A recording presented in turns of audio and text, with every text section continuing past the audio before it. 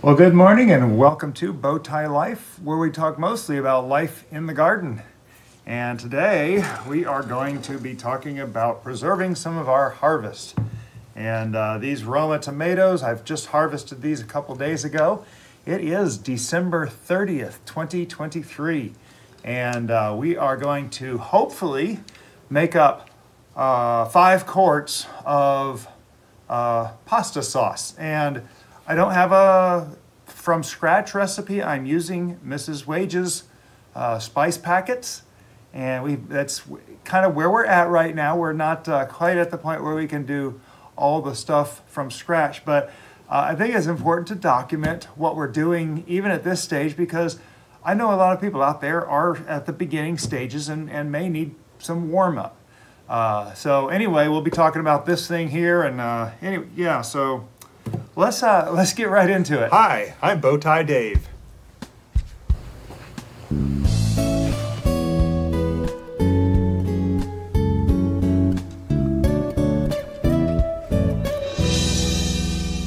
So, future editing, much wiser Bowtie David here. Uh, before we get any farther into this video, I started the whole process of water bath canning quart jars in this, the Presto Precise Digital Pressure Canner, in this video, and you're going to see me go that direction. Don't worry, we corrected that. Anyone who has used this device knows that you can't boil water can or, or uh, water bath can, both the same thing. Uh, you cannot do the quart jars in the Presto Precise Digital Pressure Canner. Everything's the same, all the steps are the same. We're going to end up in the traditional water bath canner that you get from your hardware store or somewhere else. Uh, and uh, we will get to that point. We'll explain the shift and everything that happened. Not very proud of this moment. Uh, it happens. Failures happen. Sometimes we just forget what we're doing. And I was all excited about doing quarts because that's what Mrs. Bowtie wanted and the quarts didn't happen. So anyway, back to the video. So here on uh, our little property, we live in uh, Destin, Florida. It's the panhandle of Florida. And uh, we have just been upgraded from zone 8A to zone 9A. And I'm sorry, 9B uh, at our location. And uh, we have a very nice climate for growing. We do get um, frost most years. Uh, last year we did have a very hard freeze. Uh, this year uh, it's December 30th and we haven't gotten below 39 degrees yet here in uh, Destin, Florida, uh, which is uh, not real cold. I know for us it's a little chilly, but the weather has been great. I've got a lot of tomatoes still growing. In fact, we've harvested so many Everglades tomatoes. I've told one of our neighbors, the kids love cherry tomatoes, and uh, I told them send them over to pick as much as they want, and I know they're gonna they're gonna enjoy that. But uh, anyway, because they've they've already had some of them. But uh, yeah, so we are um, getting ready to do some canning. Uh, we are going to make Mrs. Wages pasta sauce.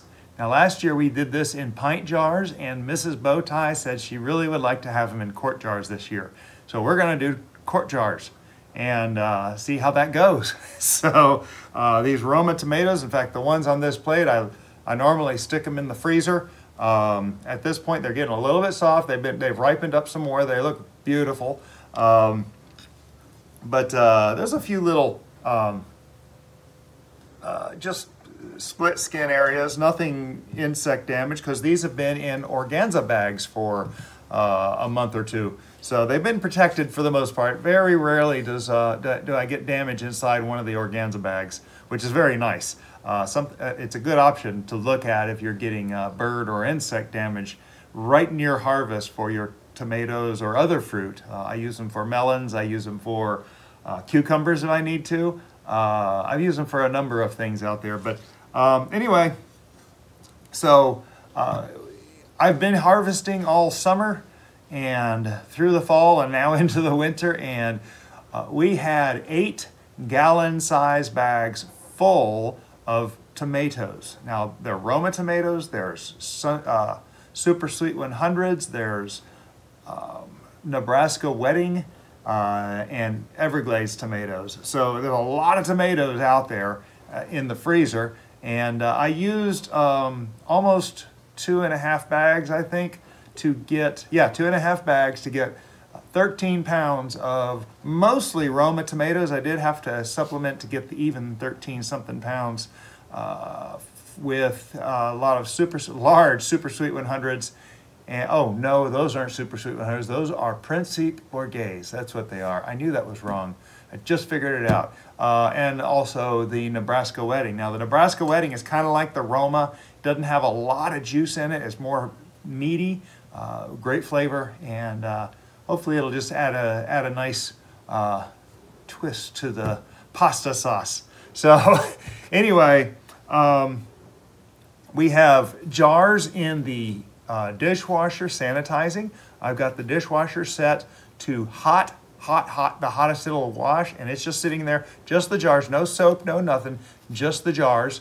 And it is running and will be running for another couple of hours. We're, hopefully we'll be getting to the cans long before that cycle runs out. But if we don't, uh, it's okay. We just restart the cycle and just pull them out when we need them. Uh, we want the jars warm. Uh, we're actually going to use the tomato processor and uh, we've been using this thing two seasons now and it's been working great.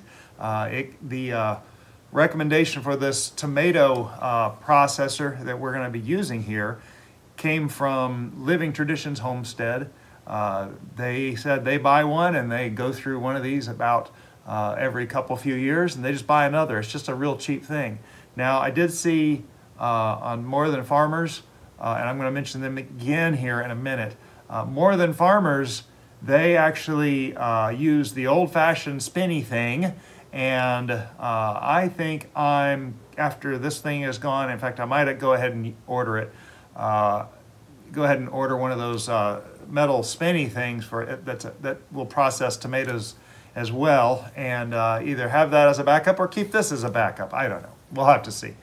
Um, anyway, so we will be processing the tomatoes first, and then um, and that that removes the skins, the core, um, a lot of the things you don't want. Some of this, a lot of the seeds get filtered out.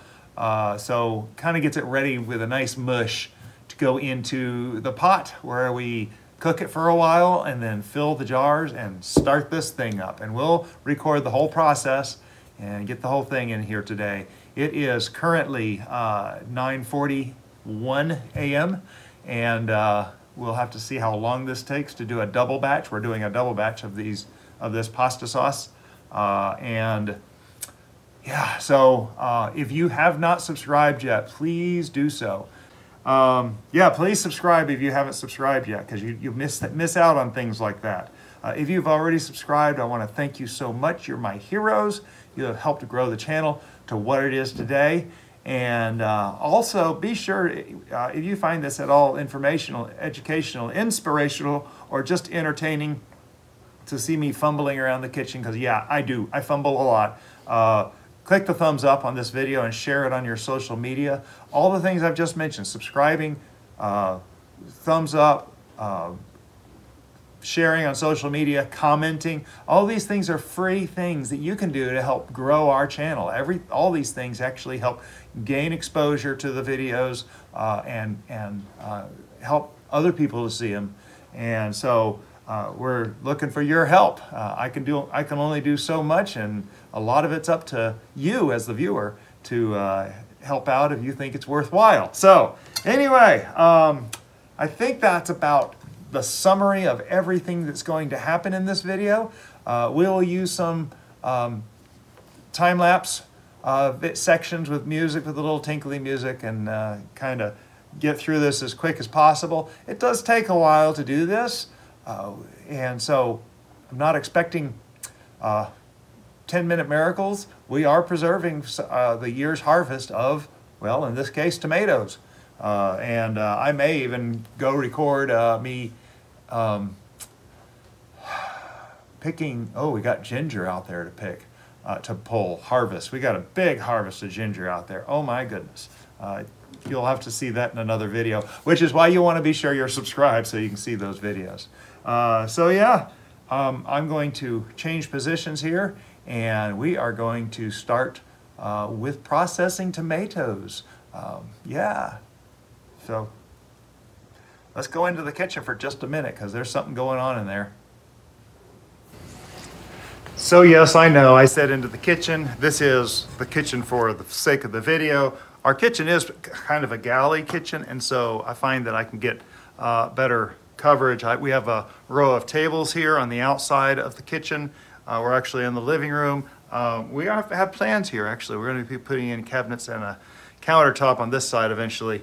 But uh, anyway, so what we have here, I actually pulled all the tomatoes out of the freezer and they've been thawing overnight. In fact, you'll notice a lot of these skins are just coming off the tomatoes very easily uh, as they thaw.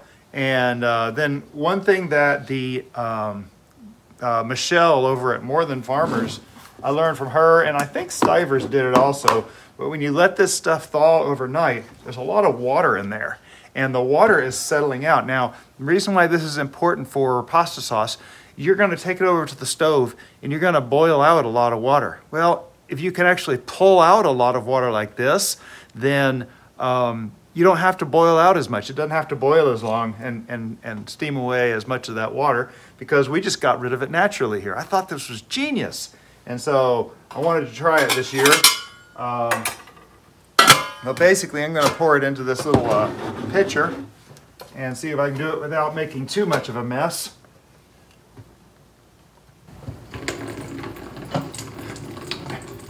Now the reason I'm not just pouring this into the sink is because we want to keep this water. Ooh, this is hard. We want to keep this water because if we need to add any more back in, we'll have water to add back in and thin it back out because I have a feeling we dump off too much, uh, the tomato sauce will get too thick and we don't want that to happen. So I've gotten, whew, not even about half of the water out. Let's try that again. Uh, I know I should probably be doing this with a strainer.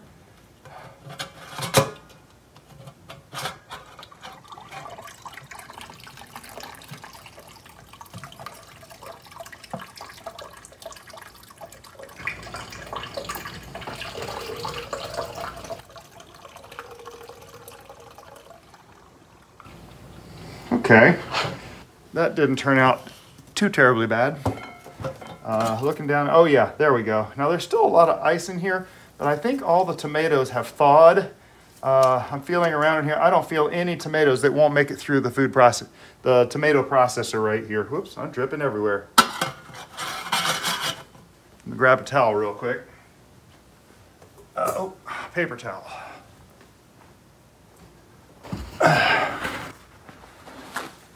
There we go. So, we got, I don't know, looks like a little over half a gallon of uh, just tomato juice, tomato water. Uh, so we'll be able to add that back in as we go and uh, to, to thin out the, the, the, the pasta sauce if we need to. So the next thing we're going to need to do here is we're going to need to run it through the food processor. And I've shown this before. you you can see this in other videos. This is just something we got off Amazon. Let me pull you in a little bit closer here. So looking down here, almost from straight up, you can see that there's a handle here. And as the handle turns, this little spindle turns. Ooh, what is that? Piece of something there. Oh, it's just a piece of leaf. It's dry though. It's static to the thing. Okay, there we go. Now this all disassembles. It's actually really easy to clean, but as it goes through, it, uh, it you can see there's a screen underneath there. It filters out the, the mush the good stuff on in this bowl, and then there's another chute on the backside that'll filter out in the skins and stuff on the backside over there. So there is a suction cup here that works for a while. It's not a great suction cup, but you can see it holds it in place while we use the processor. And we're going to be pouring our tomatoes in the top here, and you'll see, be able to see that the stuff come out both the sides here. So here you can see me uh, processing through these tomatoes, sticking them in the top and out the this shoot pointing toward the camera. That's the mush that's going to be the pasta sauce. Out the side here, of course, is the uh, skins and the parts that we don't want. However, I will run those through a second time and we'll have even more out of that. Not a lot more, but I hate wasting uh, anything we can get. And so I will run all that through a second time and make sure that we get as much of the good stuff as we can out of this batch of tomatoes. Now the instructions on the package, Mrs. Wages package, actually says to uh, boil these and peel the tomatoes. That is another way to do it. This is just as valid. When we freeze them, it separates the skins and we run it through this uh, processor and it does the exact same thing. Uh, I think it's easier and just a lot quicker. So, and I don't burn my fingers in the process. That's the thing I really don't like about stick blanching the uh, tomatoes for a few minutes and then putting them in ice water and then peeling the skins. They come off pretty good, but in the end you have to core them. Uh, this does it all in one step, which I'm very happy with. One final thing to address here is the uh, use of which tomatoes. I forgot to cover, yes, Roma tomatoes and the Nebraska Wedding are great for making sauce. The Principe Borghese have a bit much water, which is why we separated as much water as we could. You can make sauce out of cherry tomatoes, and this is something I learned from Living Traditions. They made a whole bunch of sauce from a ton of leftover cherry tomatoes. So uh, you just have to let some more of the water come off, as we started in the beginning there, pouring off the excess water. So from running those remnants a second time through the system, you can see I got about another, I don't know, is that a cup of uh, mush that I got out of those tomatoes. I'm not going to run it through a third time. That was, I'm, I'm very satisfied with that. So we're going to be doubling this pasta sauce recipe. I've, I've doubled the tomatoes. So we got two package uh, of the Mrs. Wages pasta sauce mix. And these instructions are on the back, I know. Uh, but I'll be honest, I'm one of those people, I need to see it happen once. And that's one of the reasons why I like to go to YouTube so much, to see it happen, see how it goes. Uh, it also calls for, and the re little recipe right here, calls for a quarter cup of sugar. And um, so doubling, doubling it, we have half a cup here. Two quarters equals a half. And then the two pouches of the pasta sauce spice mix. And we're going to put them all in this pot. We combine them in here and we're going to bring this to a boil. Now we do have a couple of backup jars of tomato paste and we will be using those if we need to thicken up this uh, recipe at all at the end. Uh, that is the concern. We did get rid of a lot of water. Uh, I don't think we're going to be putting any more of that water that we saved back in.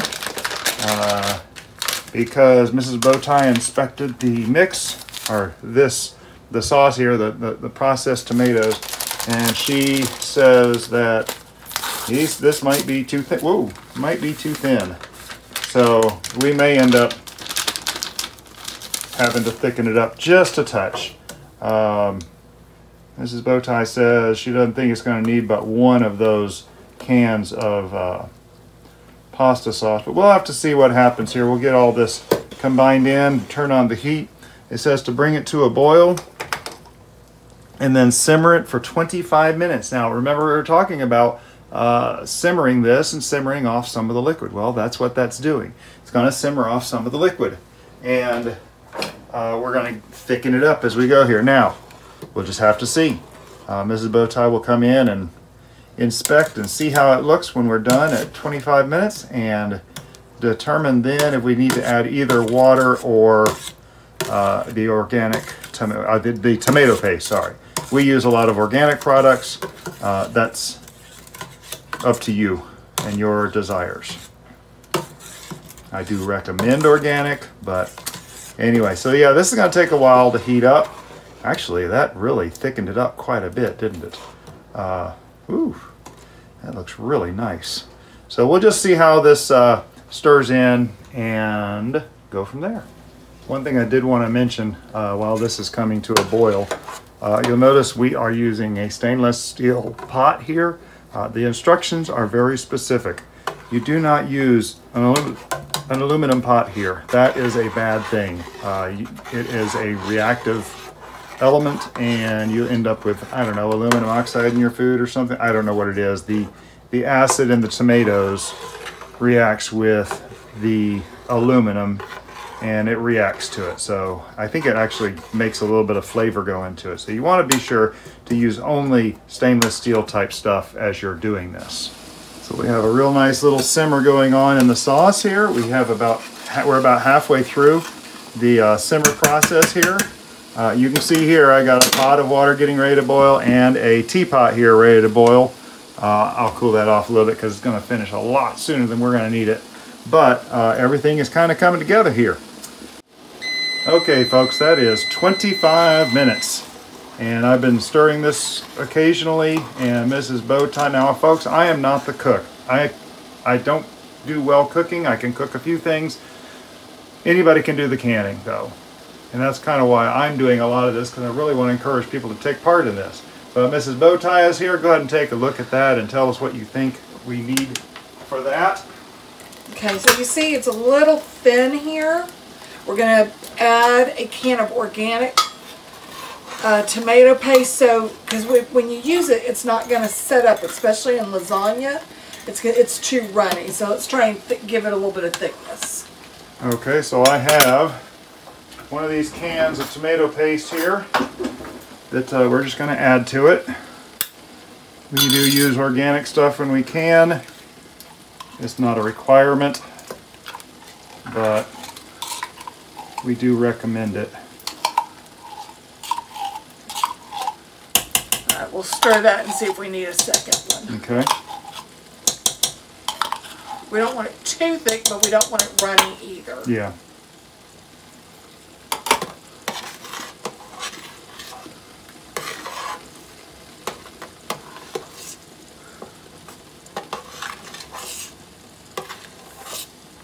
I know every time we do this, I never think the little amount of tomato paste we had is going to make that much difference, but it always seems to. I'm trying to break up all the little hunks of it. It's things like this, though, that I am that I do this when Mrs. Bowtie is around. I do need a little supervision sometimes. I think I have broken it up. Oh, oh, there's a big old hunk right there somewhere.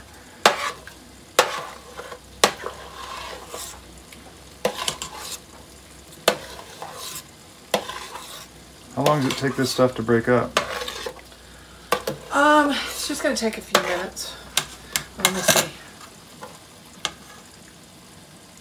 Yeah, let's do the other one and then let it simmer for A little longer? yeah. Okay. Let's do There the you second. have it, folks. Let's do the second one. Yeah, see, Oh, there's still chunks in there. Ah, They came right out of the can opener. Probably why you're supposed to put it on a countertop or something, right? Fortunately, this stuff is not very liquid. I'll do a little better breaking it up this way. How's that?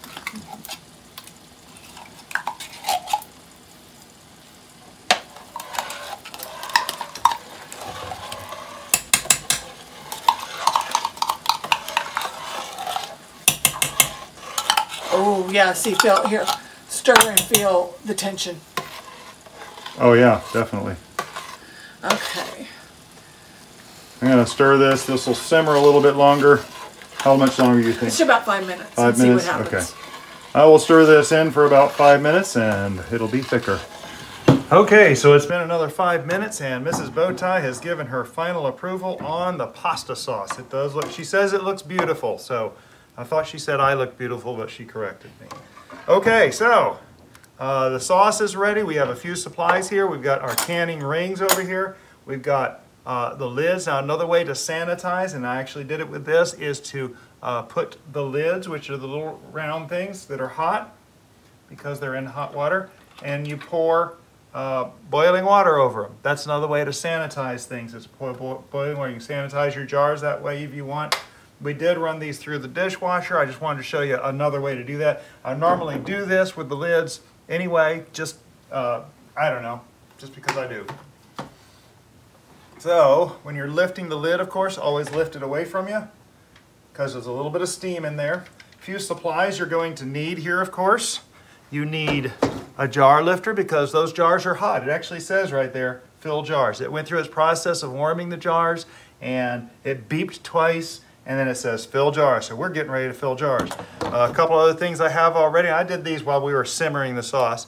Uh, we have a canning funnel and I have a bowl here with a little bit of distilled white vinegar that we're gonna wipe the rims of the jars. And if you've watched any of my videos, you know that's the part right there that I keep missing. And I just remember the last thing I need.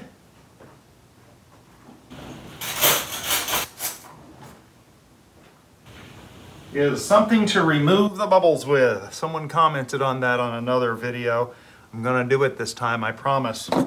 Uh, so here we go. So these jars, remember we have water in them so they didn't float. So I have a pot over here, that's what this pot is for. So as I pull the hot jars out, we're going to empty them into this. If you're next to the sink, you can empty them into the sink, of course, but uh, we do not have that kind of space, unfortunately. So when we're filling these jars, we need to leave one inch of headspace, which means we're going to fill up to right about here on these jars, right about the curb. Uh, you do need to leave plenty of headspace on these. Uh, I have been uh, guilty of not leaving the proper amount of headspace, which can mess things up. This canning funnel makes it real easy to keep the top of that jar clean. You can see it just funnel, it just it's big enough for the ladle, but it keeps everything well within the confines of the jar. So there we go. I have filled that jar to within an inch of its life. No, no, no, we have not. I have filled that jar with at least an, woo, ow, with at least an inch of headspace. There's probably just a tad more. This is just vinegar, folks. This is only uh, distilled white vinegar. Uh, I, some people say use water, and that's fine. I don't think there's anything wrong with that. Um, Stivers Homestead said uh, they use vinegar, so I do what they say just because I respect what they're teaching. So, you know, I mention a lot of other channels a lot, and that's because I believe very strongly in Oh, okay, see there? I almost didn't do it. Remove any air bubbles. Uh, you run your a knife or a chopstick. We actually have chopsticks that we do this with too. Down here to make sure all the bubbles are removed. I'll leave this right in my way so I remember to do it. Okay, see now I need to rewipe the lid, rim, just in case I got something on there. We're going to try to get four or five good jars of sealed pasta sauce. Okay, tightening the lids. Tighten it under its own. One eighth of a turn. That's all you need. This ring just holds this lid in place. That's all you need to do. And I'm going to use the jar lifter to put that back in there. And we'll go with the next jar. empty it out.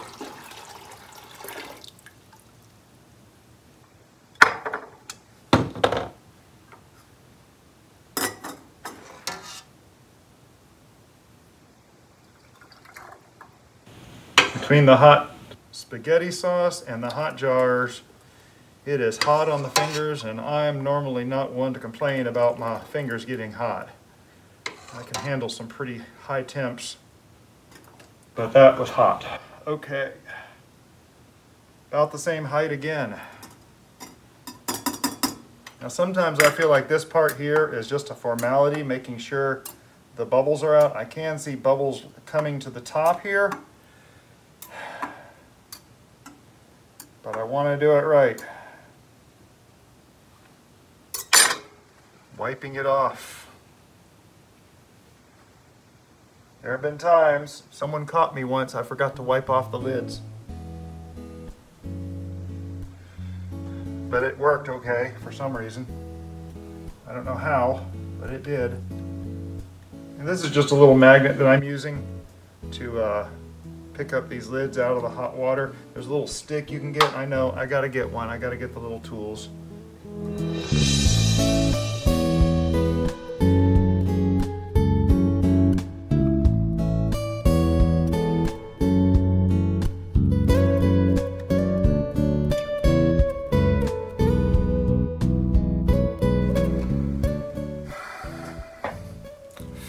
Well, it's about this point in the video that I realized you can't water bath can in the Presto Precise digital pressure canner. You That's- can't water bath quarts. What did I say? You just can't water bath can. That's not right. Yeah, you can't water bath can quarts. This is very hard on my ADD. So we have shifted quickly into the old water bath canner that we bought at Ace Hardware. And uh, some of you may be familiar with this. Uh, you can see inside here we are hot and we are coming to a boil. The water is about one inch over the four jars that we got of spaghetti, of pasta sauce. And we're shifting to the old-fashioned water bath canning. Uh, the big thing, you it's the same process, it's just that you have to do it manually now. Uh, you warm your jars in there just like we did before, except you'd have to do it, you know, turn on yourself and, and water bath can. Uh, you'll notice there is a cage in here that's holding the jars off the bottom of the uh, water bath canner. If your jars just sit on the bottom of the canner, you will burn the contents of your jar or, or break them. Uh, you don't want that to happen, obviously. So, uh, in a matter of moments, we shifted. I realized we had a lot of water in that liner in the Presto Precise digital pressure canner, and we used that in here instead, and we shifted the contents over to this water bath canner now with warm water. Did I miss anything, Mrs. Bowtie?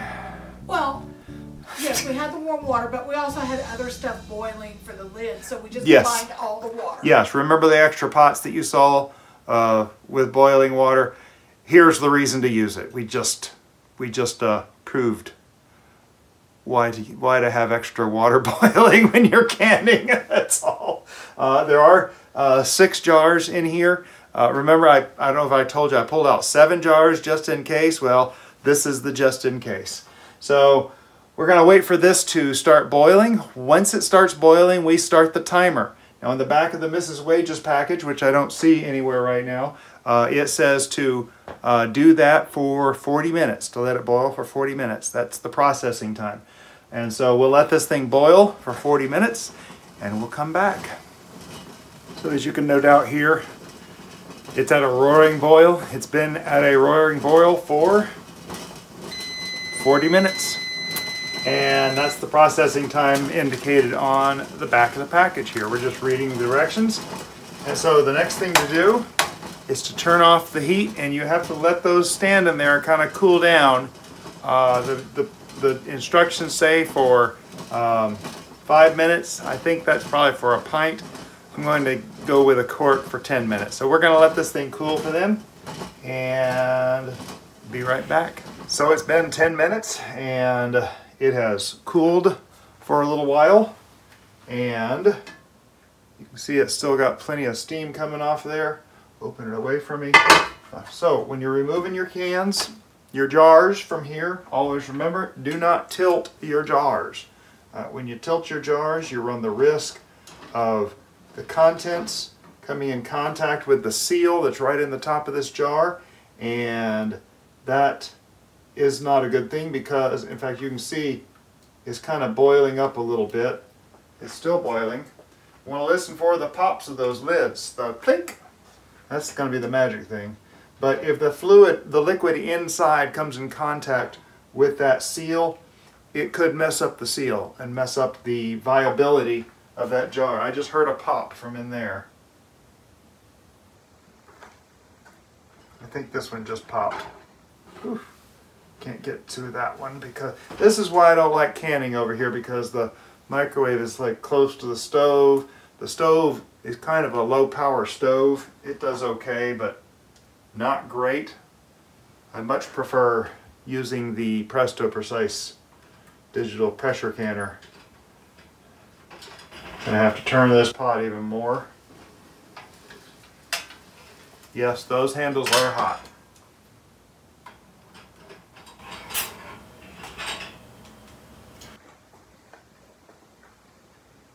I think all the lids have set. Yeah, they have. So we'll just have to see what we get when we finish with this. These do need to sit for between 12 and 24 hours. So sometime tomorrow afternoon, I will be recording the end of this episode.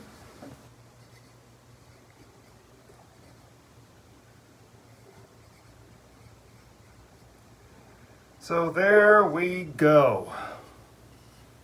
Few lessons learned in this video.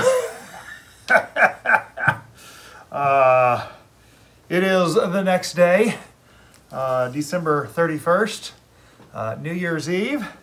I have labeled my jars. Always label your jars. Just do it. I'm sorry. Always label your jars. Um, we used our pasta sauce mix from Mrs. Wages. Now, now, and I know some of y'all might cringe about this. We do want to make our own spice packets. We're just not there yet. We are still learning. And so um, one thing at a time for my ADD brain and and uh, we'll get it figured out. But uh, I, I, I, I'm glad we have these for a start. We may use them again in the future uh, even after we can do our own spice packets. I don't know. Uh, we'll just have to see. Anyway, um, so yeah, we ended up with four quarts. Uh, the moment of truth is upon us. And the test is to take off the ring and try to lift this by the lid. Now we don't want, uh, if you saw one of my recent videos where I had my first failures, um, we don't want that. You should be able to lift by that metal lid.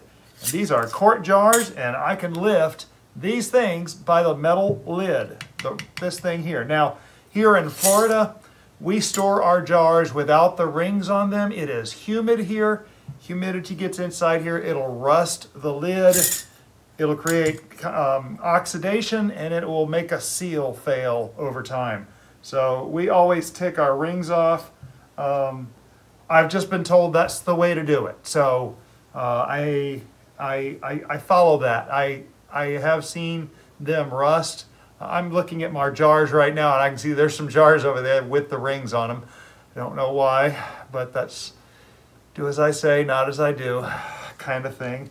Anyway, so yeah, a few lessons learned. Um, first off, of course, um, I did record a lot more to this video uh, because I was trying to use the Presto Precise pressure canner and I remembered last year we did pint jars, and Mrs. Bowtie didn't like the pint jars because she would end up using two pints for a lasagna. Uh, and so she wanted to go with full quarts. And so I thought, oh, okay, we'll just throw the quarts in the Presto Precise digital pressure canner. And you cannot water bath can in, you cannot water, bath I see, I almost did it again. You cannot water bath can quart jars in the Presto Precise digital pressure canner. Look at the book, it tells you that. Uh, the reason is because it's not deep enough. Uh, these things need to sit inside the canner with at least an inch of water above them and there just isn't room in that canner for that much water. Which is the point at which I realized I had made a very large mistake. So, oh my goodness, that was, I, that really threw me off yesterday and I remembered now and and I do remember we talked about it. We actually talked about doing quarts in this. Uh, we did get this from Ace Hardware, as I already mentioned. You can get these anywhere. There's a little book that comes in it, shows you how, tells you how to do it. Um, I will try to do a video on this uh, next time we do something out of quart jars. Uh, yeah, that was lesson learned. Uh, what was the other big lesson learned? Um, There was something else that I was going to mention here, that uh, we went through. Oh yeah, of course, using stainless steel pots. I, I knew that. I always use stainless steel pots when you're dealing with acidic uh, foods like tomatoes. Uh, yeah, it reacts with it. It puts a kind of a weird taste into the food that you just don't want. Um, I don't believe I mentioned in this one is the jar lifter that I used. You don't want to be reaching in that hot water and lifting those jars out. That water's hot. Use a jar lifter. Don't touch it. Don't burn yourself, please. Uh, yeah, anyway, so that boils down to it. Um, kind of a rough overview. I, I hope you got some details out of it. I know I said during the video that uh, I, I really like to do these videos, uh, more instructional videos, hopefully to inspire someone. I am not a chef. I am not a pro. I'm not a master gardener. I'm a handyman. Uh, and I, uh, if I can do this, believe me, you can do this. One of my specialties is ramen noodles. Okay, I'm not much of a chef or a cook or anything. So when it comes to the kitchen, but uh, I, I really think we should um, take a proactive uh, stance on uh, creating our own food and knowing where our food comes from and, and, and eating healthy. I, I had a transformation in my life about four years ago that that um, really changed my health, and I'm hoping for the for the way better. Uh, I really strongly feel that it's for the way better. So, anyway, uh, I've mentioned before, uh, if if you have subscribed to this channel, you are my heroes. You have grown this channel to what it is now, and I so appreciate every one of you. Uh, if you have not yet subscribed, please do. Uh, we cover all kinds of things from the garden, uh, planting, growing, harvesting, flipping beds, to preserving, to uh, occasional cooking and creating some food with our with our garden produce. So, uh, and then saving seeds. We got some. Uh, I know we got some bean seeds we're going to be saving here pretty soon, and uh, I think we're going to be harvesting ginger next. I got a lot of. If you've seen our garden tours, go back and look at the December raised bed garden tours, part three of the monthly garden tours. Um, we got a lot of ginger out there, and I think I'm about to go harvest that, uh, process it, and processing is going to include slicing it on a mandolin and dehydrating it for like 24 hours, and then we're going to vacuum seal it. So, got a new little toy from a friend uh, very excited about to do the vacuum sealing in jars. So anyway, uh, yeah, don't miss a thing. We got lots of stuff coming out. Uh, a lot of this is my own log of the things that are happening in the garden and in preserving and so forth. Uh, I go back and look through these and I, uh, I, I, get reminded of things. Sometimes I go back and look at last year's video to see what when did I do this, when did I do that, and what happened at this point. So these are really personal logs of things that I'm doing as well.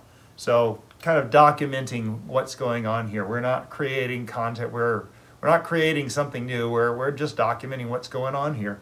Um, if you thought this was at all interesting, entertaining, uh, inspirational, or just uh, educational, educational, informational, inspirational, or entertaining, I'd get it out in one way or another. Uh, that's my ADD brain. Click the thumbs up, please. It helps the videos. Share it on your social media. If you have questions or comments, tell us what you're doing.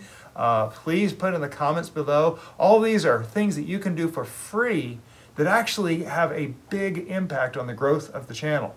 And I appreciate those that subscribe and I appreciate the likes and the and the shares. I really enjoy uh, seeing the comments and the questions and and uh, occasionally I've, I've learned stuff from those comments. I, I have. And uh, it's great when I can learn stuff. Um, yeah, I'm sure someone would have commented about you can't do quarts in a Presto Precise digital pressure canner. That was the big thing. Uh, reason why I did pints last year was because you can't do quarts. And I had forgotten that. So anyway, it's a beautiful day and I need to wrap this up so I can get some ginger harvested.